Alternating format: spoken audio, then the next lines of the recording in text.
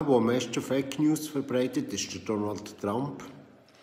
Da ist jetzt jede Statistik, die er hatte, einfach frisiert worden zu seinen Gunsten, damit er nächste Wiederwahl 2020 wieder zum Präsident für die nächsten vier Jahre gewählt wird.